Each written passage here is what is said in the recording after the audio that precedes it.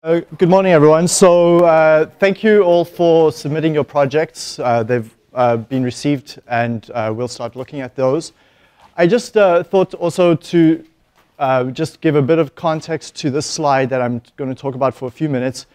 And um, one of the nice things about working here at Mac is that I get to do a lot of other interesting research around education and how, how our mind learns. And, and one of the ways that we can view that is by understanding uh, different uh, dimensions, right? And so we typically, in the research at least, looks at this knowledge dimension, which starts right down here at the most simplest bare facts, simple facts, and then you can go to concepts and procedures, and then metacognitive, you're getting more and more abstract as you're going along this dimension here. So, the, so your knowledge is based on concrete facts down here, and then very fairly abstract facts up there. The other axis is your cognitive uh, approach, or your cognitive process, I should say. Again, starting simple, just simple recall of basic concepts, understanding concepts, applying concepts, analyzing, evaluating, and then that creative phase is the most extreme. So the reason why I wanted to bring this up is just to give a bit of context to the midterm and if you look back at the midterm question one and two was basic recall facts, right? So simple, short questions. You're essentially, you're operating down here in this, this area. You're able to recognize basic concepts, give me a few bullet points, um, list basic ideas around, say, what is a typical flocculant. It's a simple recall of factual information, right? You're down here, you're probably at the, the, the most bottom level in terms of challenge. Okay, and then question three and four in the midterm started to move up. They're really just around here, right? So you had to think very carefully about that flow sheet that you've never seen before. Think about why flocculant was added to, um, to the particular point on the, it was on the flow sheet. Think about cyclones, why, what's going to happen if you put one, which we studied one cyclone, but now what happens when you put two, right? So this is not something that we necessarily explicitly learn, so it's not an explicit recall of factual information, right? Which is, would be trivial because you, you've got your notes there in front of you. So why, um, why spend our time down here? And to be honest, when you graduate, you don't have the monopoly of being in this area. If, even if you're the only chemical engineer employed by your company, someone else can also recall factual information, or at least just look it up quickly, right? So you've got no no stake to claim if all you can do is work down here. You need to be start pushing yourself up into the abstract region as well as in terms of the complexity and the use of your mind, the cognitive aspect of applying and analyzing and evaluating critically certain information. Right, and so what the project does that you've just submitted starts to put you up in here where you're analyzing a new area, okay? What the what the midterm does, some of those questions, is they start to push you up in that, that area. What the assignments do is they start to push you up in some of those areas in terms of the more open-ended questions. And it's no good going and finding last year's solution and simply copying it and handing that in, because all you've done is you've really just pushed yourself back down here. Okay, so if you're not challenging yourself to move up that zone there, then you're going to really find yourself stuck eventually because someone's going to quickly figure out, well, look, you've got no capability of, of doing higher level thinking, right? And um, as I said, you're not the only one that can do it. A company can easily find someone else to do work down here at a cheaper price. So if you're able to get yourself being able to judge, critically deconstruct concepts, integrate various ideas from this course, from other courses, uh, being able to just even uh, generate interesting new alternatives. And the peak here is sort of creative, very creative design aspect. Um, that's where you will, if you can do that well, you'll never uh, be looking for a job. Pretty much you'll be, in, you'll be the one setting the terms for yourself, okay? So what I really want you to think about is seeing yourself climbing up here. And no one, especially not me, expects you to go from today, where you're able to recall basic facts, to being over there in no time, right? We intentionally, at least I do, intentionally bring you up to that level by providing you multiple steps of increasing challenge and complexity to get you there, okay? So I just want you to bear that in mind as context for how I work in this course and for the reasons why certain things are the way they are. And I'll post this PDF to the course website. There's a lot more to it uh, that explains these axes, the x and y axes, in, a, in more depth. Uh, so you can go there and look. Here it explains the one axis in a lot more depth, and there's a, the other axis explained in more depth, so that you can see and really critically ask yourself, where am I? What am I really capable of doing? Right? And try to push yourself a little further. Okay? So with that, um, let's go back to the example we did. And I'm going to try and illustrate some of those concepts that I just spoke about in even this simple example and the upcoming work. Right? So last time we, we got this problem, and let's just recall because it's been a little bit of um, some time in between and you've been working on your projects that you may have forgotten some of the details here. But if you recall what we were doing here is we were running a lab-based system, and in our lab, we did a test with some contaminants, and we were trying to adsorb it onto the surface of the adsorbent. And just I'll put up some details here. We had three grams of adsorbent, and we had 0.05 grams of solute. We were able um, to take up 96, uh, 96% of that solute was removed out of solution and placed onto the solid. So we adsorbed that amount. And we calculated last time that Ca was 0.002 grams of solute remained per liter.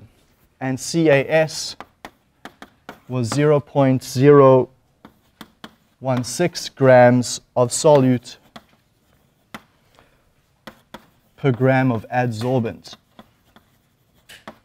Okay, so maybe just um, put some of those numbers in perspective on the plot we derived. Right, now the plot was deceptively simple, right? And so recall the plot essentially said CAS is some equilibrium constant times CA. Okay, now that's very simple. That's a factual recall piece of information that tells you the relationship between the concentration in solution and the concentration on the solid. Okay, and it, it is deceptively simple. Here's Ca, here's CAS. And the slope was a value of 8, and let's just put, put some units up on there. So it's a straight line, and k was the slope, and it had a value of 8. So what units was that? 8 liters per gram adsorbed. Okay, so the units are consistent here in that case. So where are we on this plot? Well, if we're in the lab system, we're, we can read off our CA and CAS values 0.02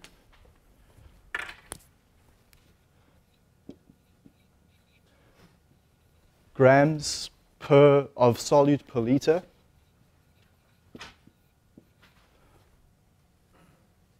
Okay, so that's my lab operating point, and that corresponds to a value over here of 0.016 grams. Now the y-axis is units of grams adsorbed of solute, so grams of solute per gram of adsorbent. So it tells you how much solute you've adsorbed per mass, per unit mass of adsorbent. Okay, so that's, that's basic information, substitution into equation, um, anyone can really do that. But now let's try to push the bounds a little bit. That's the lab system. What's going to happen here? Well, let, let me maybe ask you this case. This was with a particular adsorbent. Um, does it say here which one? No, it doesn't. But let's say you go and locate a different adsorbent. And it, you do a lab experiment with the same particular uh, concentration, and now you, you're operating there. Is that a better adsorbent or a worse adsorbent?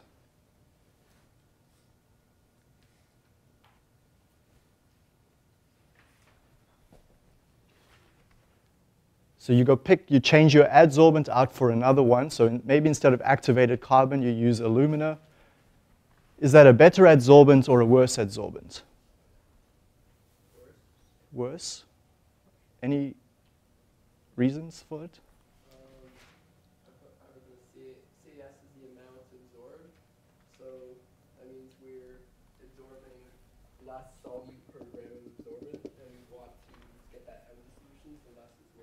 Okay, so because we want to get this contaminant out of solution, what essentially is going to say is that here you're adsorbing less solute per unit mass of adsorbent.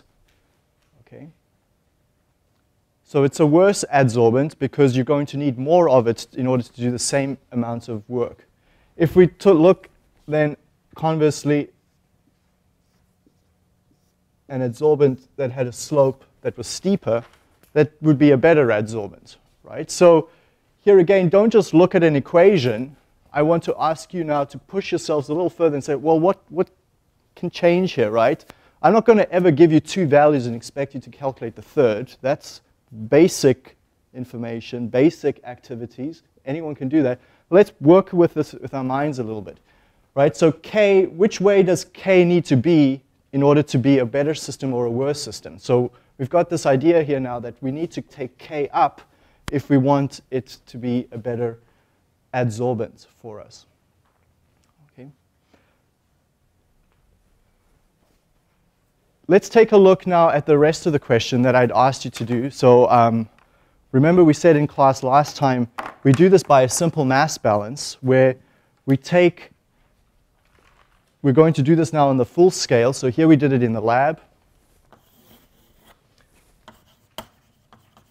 The full scale is we would like to take 400 liters now of solution containing the same amount of contaminant.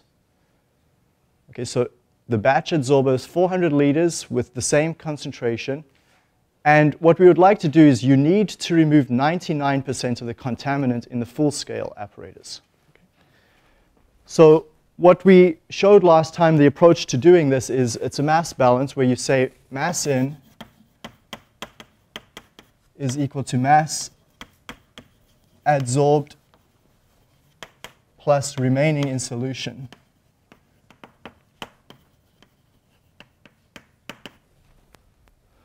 Okay, and if you put in the numbers over there, I'll just sub in quick for you. The mass that goes in in the full scale system is 20 grams goes in.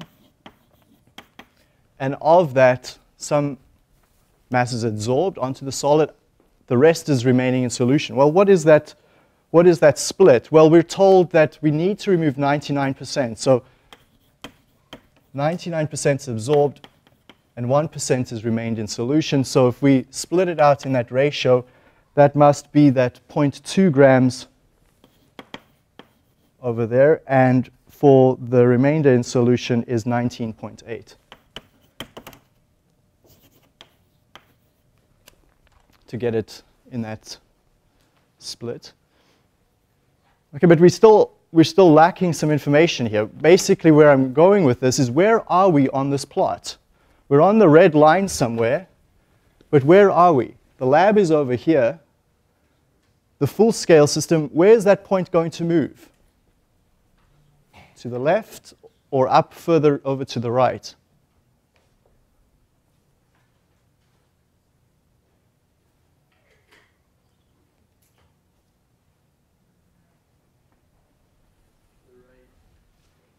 To the right. Yeah, CA is CA is going to increase. Oh, no, okay. Take a look at the mass balance over there. Which part is related to CAS? this term over here, mass adsorbed, is going to be some relationship to CAS, and this is going to have some relationship to Ca, the remaining in solution. So when we were working in the lab scale, our split was a little different. Our split was 96 and 4%. Okay. When we're now dealing with this full scale, we know that we're going to still be on the isotherm. It's just where, whereabouts. Well, we, we're setting more stringent con conditions for ourselves in the full scale system. In particular, we want only 1% remaining in solution. That Ca is going to have a lower concentration. If Ca has a lower concentration, we're going to be somewhere down here and then move over. Okay? So our full scale system is somewhere over there.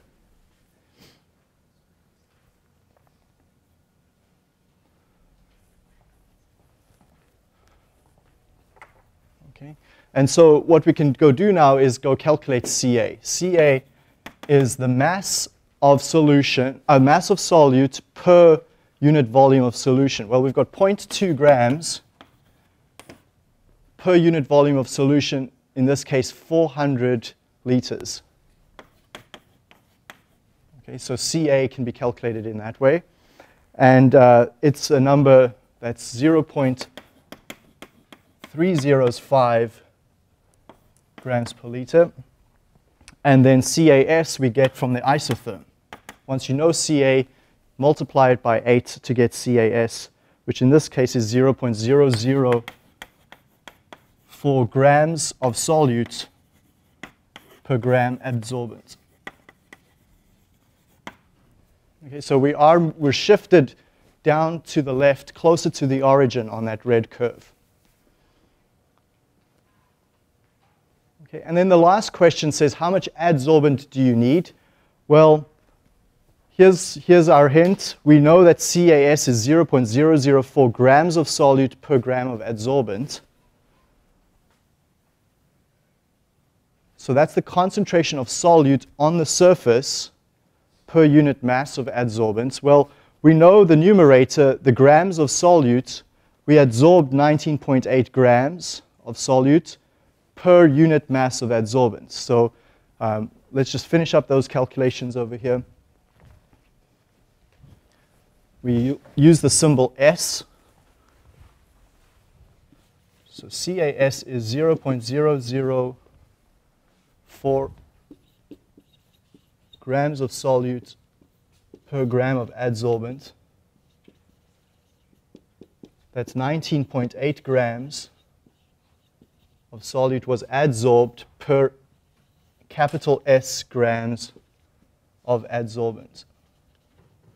And then if you solve for S, you get 4950 grams. Okay, so we'll use that symbol capital S to indicate the mass of solid we need.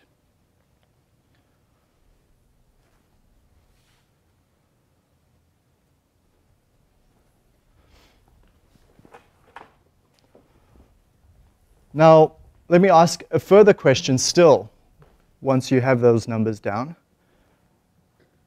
Later on, we, we might want to regenerate this adsorbent, to reuse it. Okay? So we call the name of this, um, this red line is called an isotherm. And it's called that because it's for a single specific temperature. The therm part indicates that, the isotherm, one temperature. Um, so one way to regenerate this solid is to heat up the system. And that will start to let the solute that was adsorbed onto the surface starts to come off. Okay? So which direction does this line move, up or down, if I heat the system up? So this line might be at 25 degrees Celsius. What, what, where's that line going to lie if I take the system to, say, 60 degrees Celsius?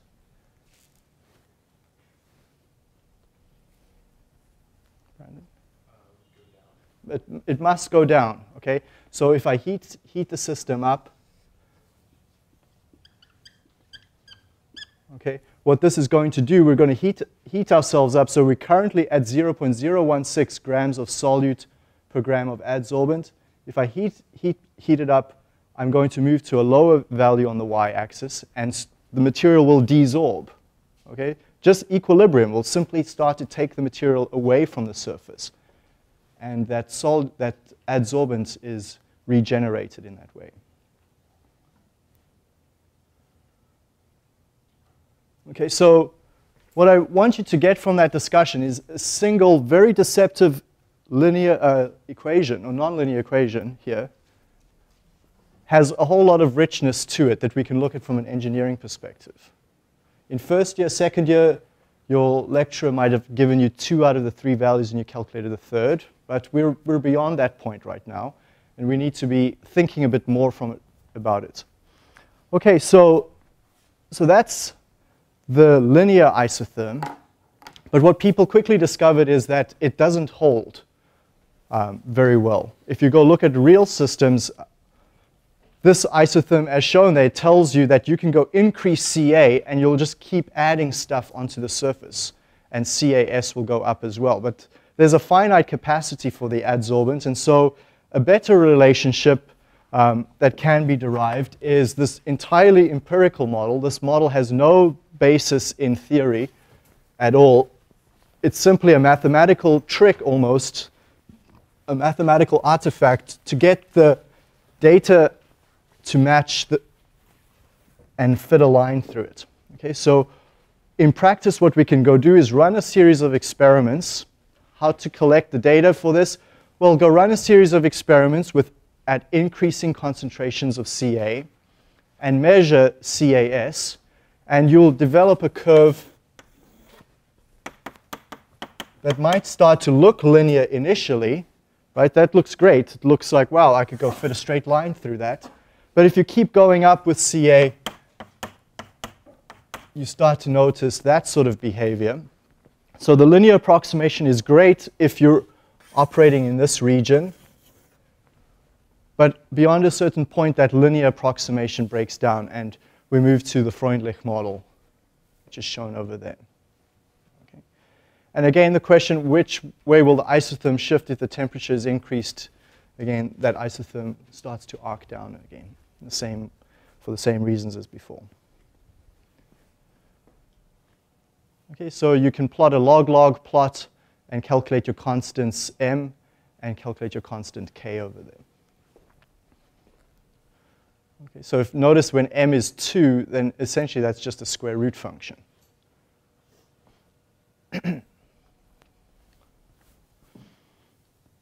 now there's later on, what happened is that people sat back and looked at this a little bit more carefully and said, well, we can get some sort of theoretical derivation for this that um, matches with what we think is going on on the surface. And so the, the line of thinking is if you look at a surface, there's a series of vacant sites. So we'll just call those S. These are empty spaces, almost like a parking lot, that's available for material to come and adsorb onto. So you've got your adsorbent over here in solution, and this material will move to the surface and adsorb at that particular site. And the rate at which it will move towards that site is obviously going to be some function of the concentration of A. So the concentration of A. The more A that you have in solution, the more material you've got, the higher the probability that a molecule of A will encounter an open site.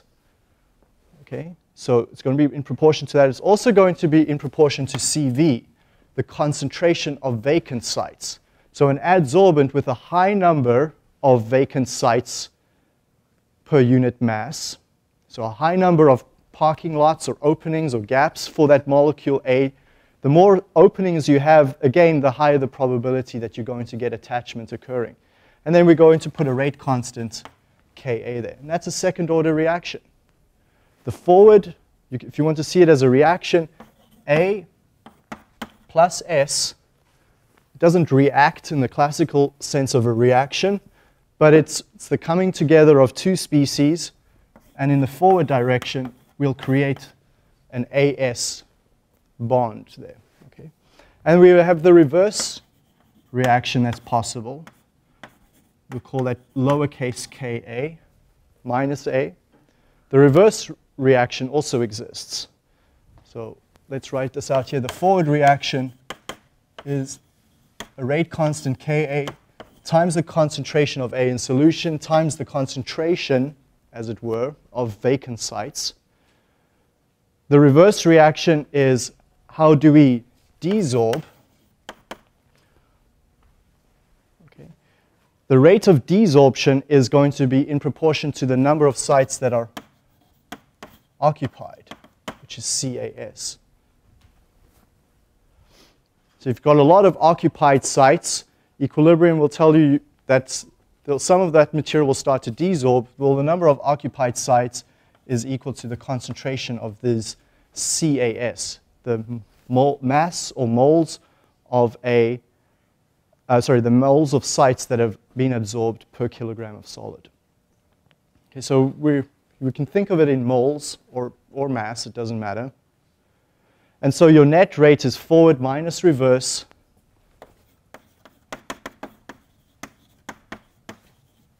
And when you're at equilibrium, that's got to equal zero.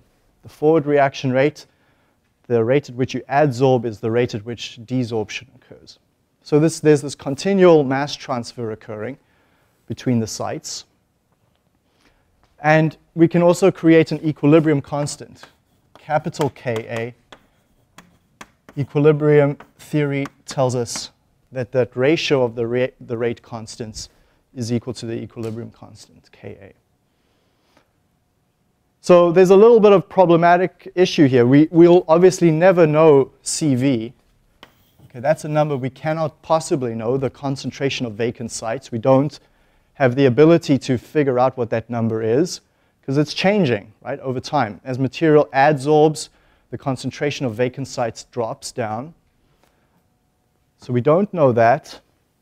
And we've also got these rate constants, lowercase ka, lowercase k minus a, and this capital K equilibrium constant.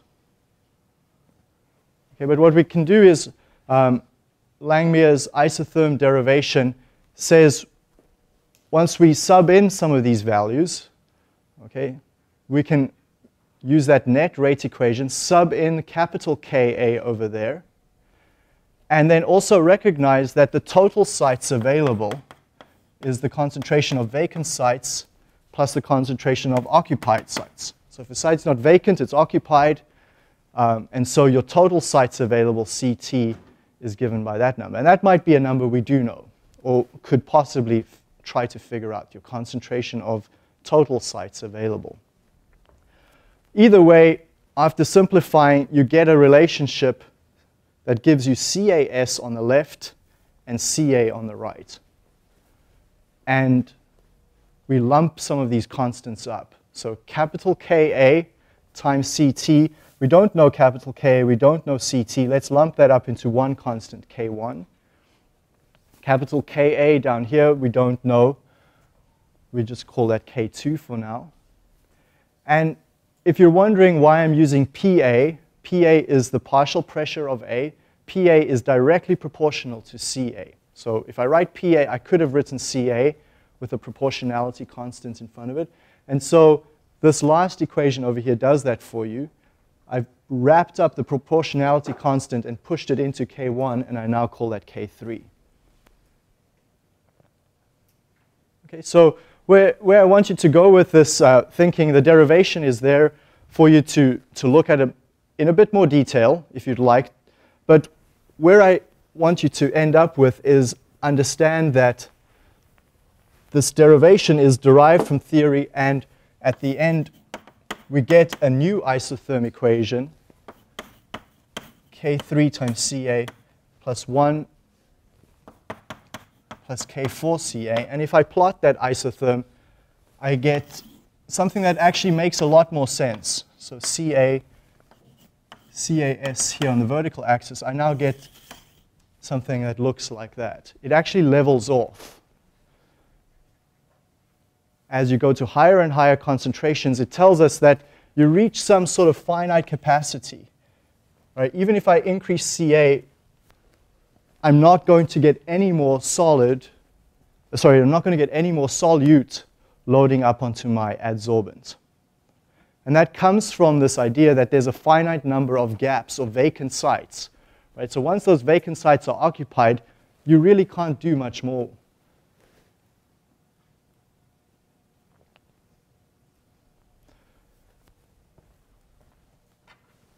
And as before here, we'll, you'll see that there's a region where the linear model does apply. Okay, so again, we could resort to a linear model if we know we're operating at low concentrations.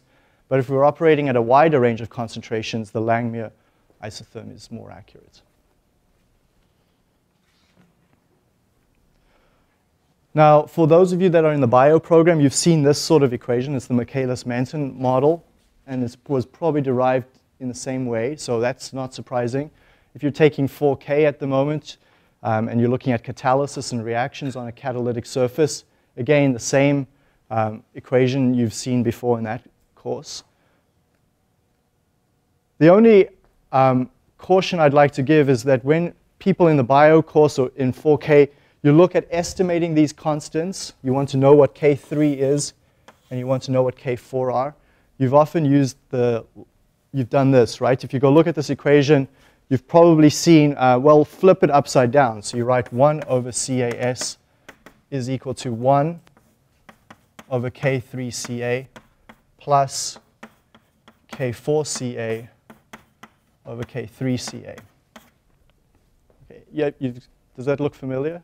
Okay, and then the person that has told you, well, that's y is equal to mx plus c.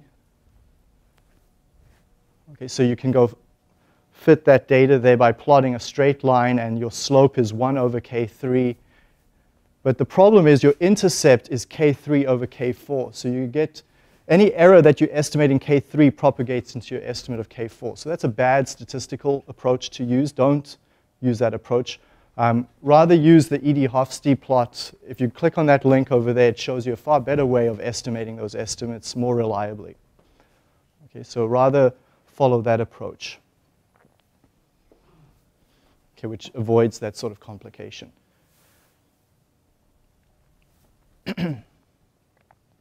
okay, so perhaps I'm going to uh, work here with you on another problem. We'll, we'll look at another issue here.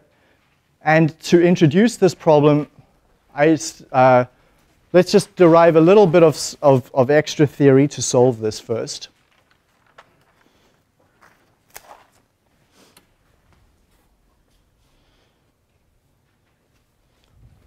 It over here.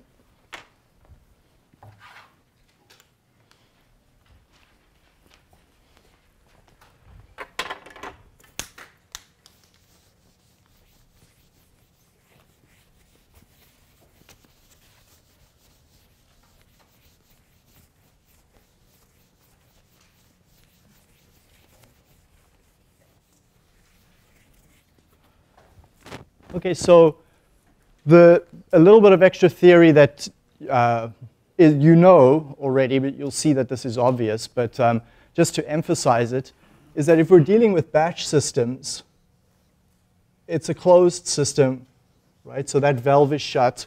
And we put material in the tank. And the tank has uh, a certain volume, capital V. So your mass in you're going to load up that batch reactor, mix it, and you've got your solids over here, so your activated carbon or whatever your um, adsorbent is, and material is going to load onto that adsorbent, and what does not load onto that adsorbent is then left in solution. So in solution at the end, you're going to have a concentration Ca. So mass in is broken into two parts as we've seen before, mass adsorbed plus mass, let's maybe be a bit more specific, mass of solute in solution. Okay, so mass of solute adsorbed and mass of solute in. So just emphasize that this is a balance on the solute.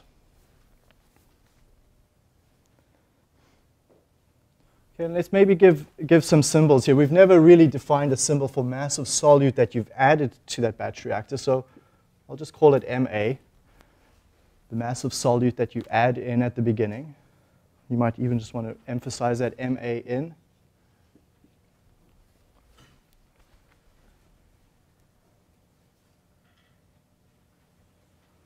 Okay. The mass of solute adsorbed, what's that going to be a function of?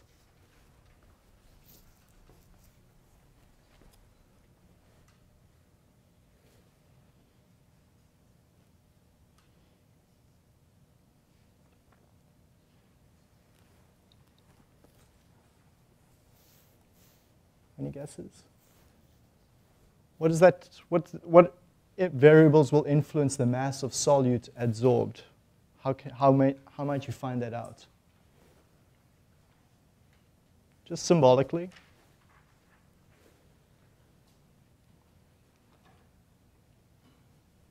It's not too hard. yeah. More like um, go through provided by whoever you get it the absorbent from. It's going to be based on the surface area. Okay, it's going to be based on the surface area. Um, and when you get your provider, or if you're looking at an adsorbent, we have the isotherm for it, right? So we, we've got this idea of how much area is going to be attached onto, sorry, how much solute is going to be attached onto the area of the adsorbent from the isotherm. So if we're looking for mass of solute adsorbed, our expectation is to use some, something related to the isotherm. In particular, it's, it's going to be a function of CAS. And let's, uh, let's put units here. Mass of solute in grams of solute. So CAS is going to be somewhere over there. Now CAS has units of grams of solute um, per gram of adsorbent.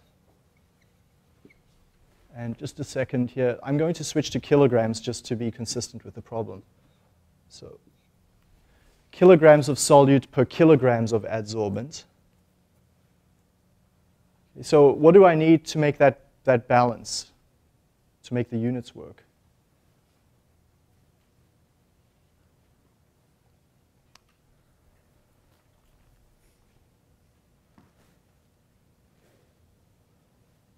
Okay, it looks like I need to give you a little bit more time. I would like you then to complete this equation, at least symbolically. I'll give you two, three minutes. Think, discuss it with the person next to you. And this is, again, where this critical idea of working through the problem and not just waiting for me to give you the solution. I'd like you to think through that and write out the rest of that equation symbolically.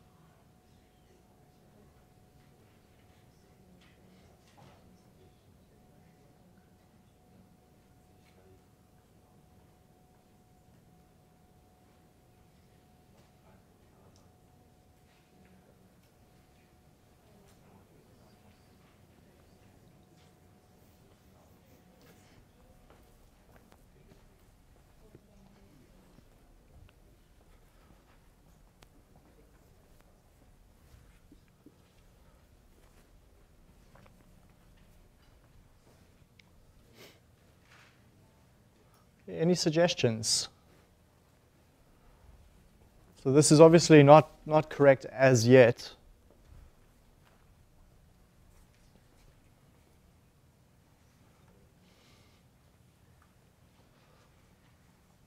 Anyone like to suggest something?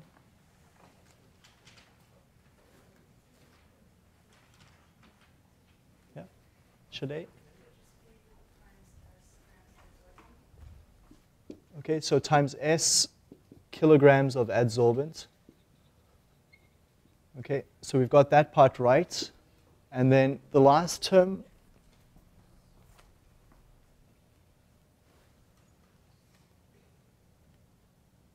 Remember, our units must always match, so we do need units of kilograms of solute remaining over here.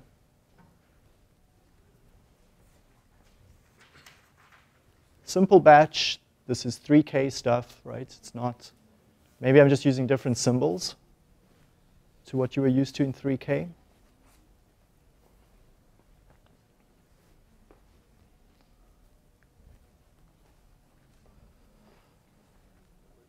Yeah. CA times V. Okay, so CA times V, let's just take a look at those units. We've got units of CA are kilograms of solute per meter cubed multiplied by meters cubed. So that makes sense then for us from a unit perspective. And so we've essentially from a batch system got an equation that tells us where that, how that batch operates. This mass coming in will distribute itself into two portions, what's adsorbed and what remains on the solution. And we've got that symbolically over here.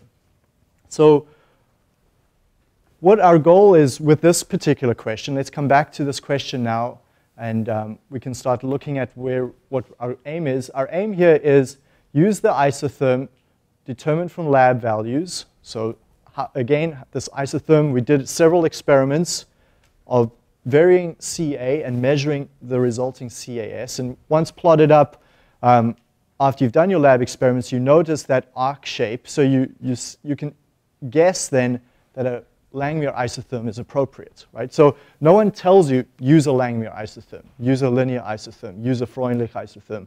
The way we figure that out is by plotting the data first, and it's a guess and check. Well, it's obviously not linear. Well, it could be Freundlich, right? So if we look back at the Freundlich shape, there's a plot that shows the two. Freundlichs um, will actually just keep going up and up and up, whereas Langmuir levels out and actually flattens. So that's a hint to us that um, there's, there's likely a flattening out here that Langmuir is more appropriate. Okay? But again, if you, if you were not sure, if you didn't go out far enough, you would fit both models and just check which one has the lowest residual error. In this case, the Langmuir isotherm was figured to be the most appropriate, and there are the resulting values. So we've got that lab data. What this question says, show the operating point on the isotherm. This seems a little bit strange. Um, what is the operating point on the isotherm? Well, it's essentially asking where are you on this curve? Right? Are we down over here? Are we up over there.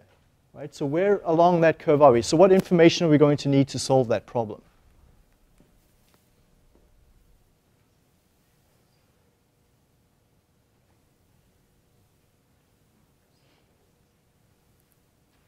What's, what are you going to be looking for when you're trying to solve this? This is a perfectly valid question that's being asked here. As an engineer, you would want to know, where am I on that isotherm? It's going to play into how much adsorbent you need to purchase. Helen, do you have a? You're going to need to know a value of either CA or CAS, right? One, one or the other, and once you find one, you'll, you have the other. So which one are we able to find over here?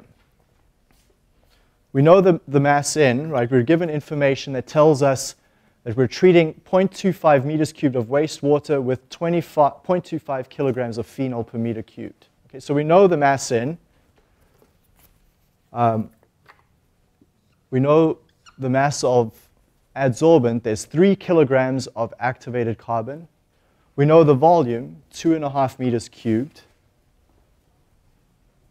Okay, so we've got this problem here of not knowing either of the two variables that we actually want, want one of.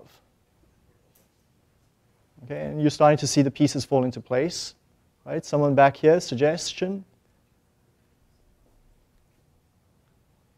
Yeah. Okay, we can plug in one equation into the other or solve two equations in two unknowns. An even easier way is recognize that this is a linear equation. You can rearrange this for CAS is a linear function, mx plus c, where x is CA. Maybe just, let me write it that, that way. Some slope times CA plus some intercept. Okay? And in fact, it's a line that goes something like this. Okay? So solving two equations in two unknowns, you know from 3E, from Dr. Adams's course, that that's the intersection of those two curves.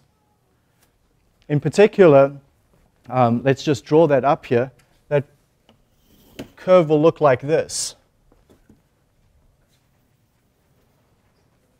Okay, so that purple line represents the batch equation. The white line represents the isotherm for the adsorbent. And where the two intersect is where you have to operate. Okay, so you're looking for the intersection of those two points, solve two equations in two unknowns, or sub one equation into the other, and you can get CA and CAS. Now, here's, and that's, that's um, again, on that scale I showed you at the start of the class, that would be somewhere in the low, low to middle region, that sort of challenge involved with getting this. But where I want you to also now push this next is ask yourself as an engineer, this is where the system is going to end up, right? That's the equilibrium point at the end of the batch. Where are you starting?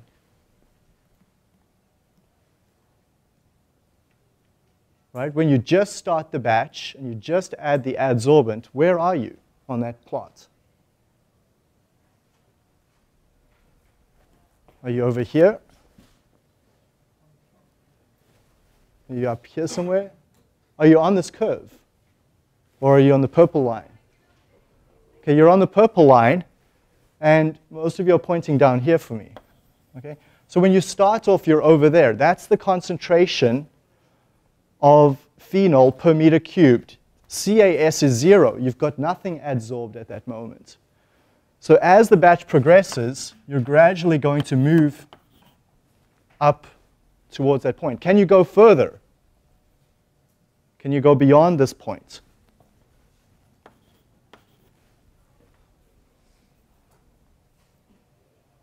No, you cannot. So if you understand what equilibrium says, equilibrium says that when you get to this point, material is adsorbing as fast as it's desorbing. So you can never go beyond that point unless you change the isotherm. Okay? The other question that you'll be immediately asking yourself as an engineer is, how fast does it take to get there?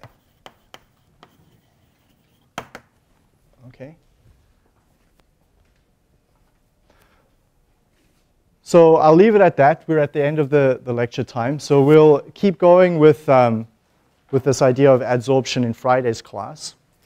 But I, I hope that today's class at least just gives you a bit of insight into thinking and some strategy for, for yourselves.